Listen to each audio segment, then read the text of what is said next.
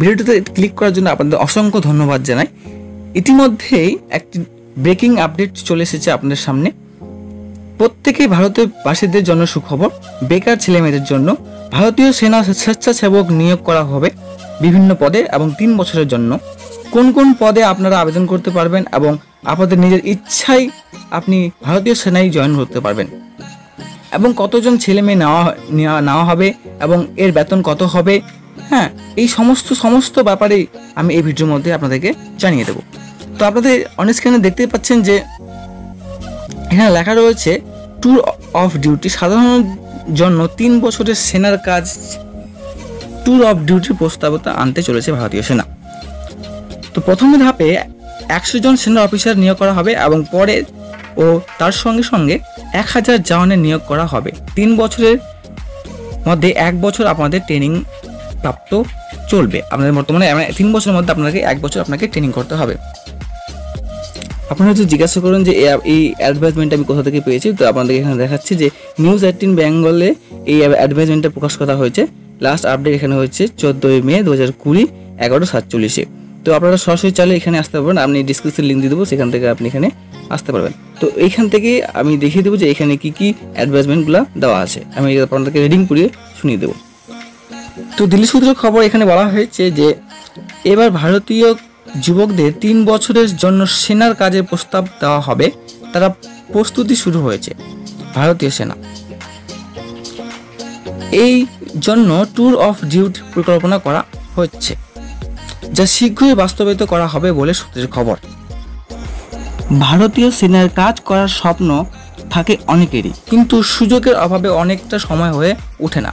এবার দেশের সেবার এই অভিনব উপায়ে সামনে আনতে চলেছে ভারত সেনা। তিন বছরের জন্য সেনা নিয়োগের সুযোগ পাবেন পুরুষ ও মহিলাদের, যাকে ট্যুর অফ ডিউটি বলা হচ্ছে।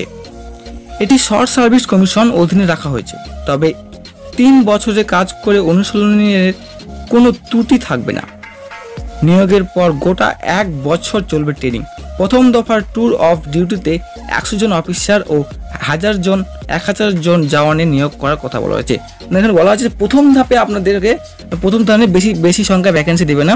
জাস্ট একশো জন অফিসার পদে দেবে এবং এক হাজার জন জওয়ানের পদে নিয়োগ করবে প্রথম ধাপে। অন্যান্য সেনাকর্মীর মতোই সুযোগ সুবিধা পাবে। এই বিষয় ব্যবস্থায় সেনায় যোগ দেওয়া অফিসার ও জওয়ানরা। অন্যান্য অফিসারের মতো এখানে সুযোগ সুবিধা তাদেরকে লাগু করা হবে।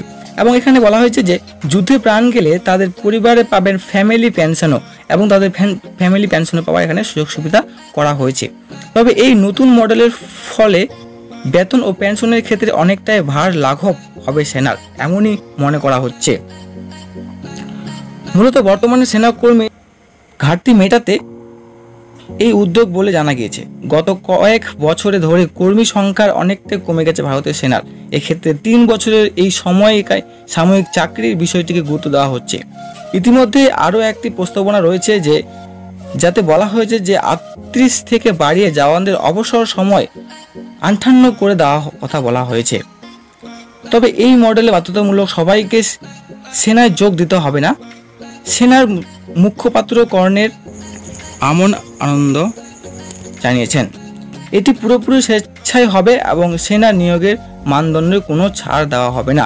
যেমন ধরেন যে একটি কোনো সেনায় ভর্তি হলে রান, দৌড়, তারপর সমস্ত মেডিকেল টেক্স এই সম্পূর্ণ কিছু কিন্তু এই এখানে টেস্ট করার পরে যেভাবে সাধারণত আপনারা যেভাবে নিয়োগ করা হয়, সেভাবে আপনারা এখানে নিয়োগ করবে বা নিয়োগ করবে। এটা হচ্ছে স্বেচ্ছাসেবকভাবে এখানে নিয়োগ করবে। এভাবেই এখানে আপাতত বিজ্ঞপ্তি জানানো হয়েছে। তো আপনাদের এখন অনলাইন প্রসেস শুরু হয়নি, আপনাদের জানিয়ে দেবো যে আপনি এই অনলাইনটা কীভাবে করবেন এবং আমি অনলাইনে শুরু হলে আপনাদেরকে আমি আপডেট দিয়ে দেবো। আর আপনারা আপডেট পাওয়ার জন্য এই চ্যানেলটিকে অবশ্যই সাবস্ক্রাইব করে রাখবেন। তো ধন্যবাদ, ভিডিওটাকে সম্ভব দেখার জন্য এবং সবাই ভালো থাকবেন।